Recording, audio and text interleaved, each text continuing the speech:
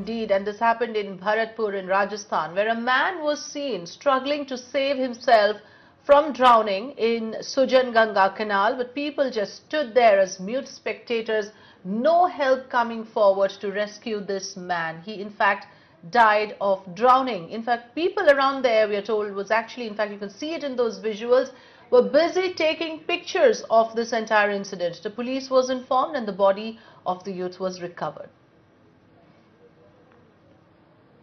अभी इसकी शिनाख्त तो नहीं हो पाई है लेकिन कॉलेज जाने वाली बच्चियों ने हमें सूचना दी कोई व्यक्ति नहर में गिर गया है उसको हम तुरंत मौके पर पहुँचे और वहाँ उसके गोताखोर बुलाए हमने। नाव वगैरह बुला करके तलाश कराई तो डेड बॉडी को हमने निकाल लिया। है अब आगे कार्रवाई कर रहे हैं। कितने घंटे रेस्क्यू चला आपका?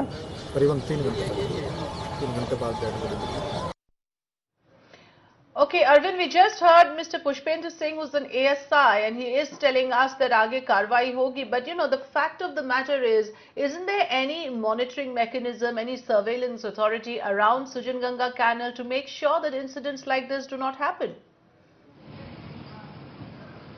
Uh, Sujan Ganga Canal is a, ma a, main canal which supplies water to Bharatpur and uh, nearby agriculture field. So it is not possible to man uh, each and every place of Sujan Ganga Canal what, where this incident has happened.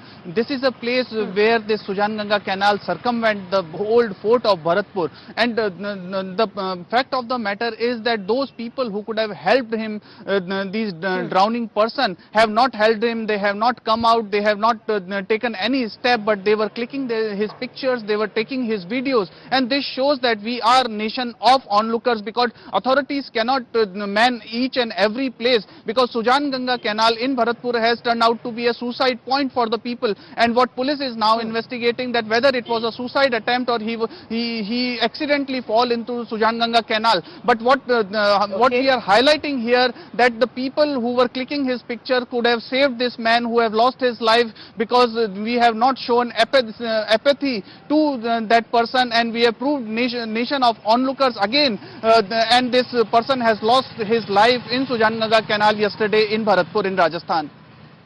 And there were a lot of people from what we can see, Arvind, in those pictures. It was not just one or two, but a, rather a crowd enjoying the spectacle and like you rightly said this is something that we must be ashamed of. Now what do the district authorities have to say? Are there any measures that are going to be put in place to ensure that such incidents do not happen in future